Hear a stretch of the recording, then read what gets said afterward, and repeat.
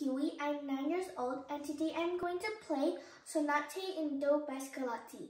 This song makes me think of a little cute butterfly and a big gentle turtle chasing each other playing hide and seek in the forest.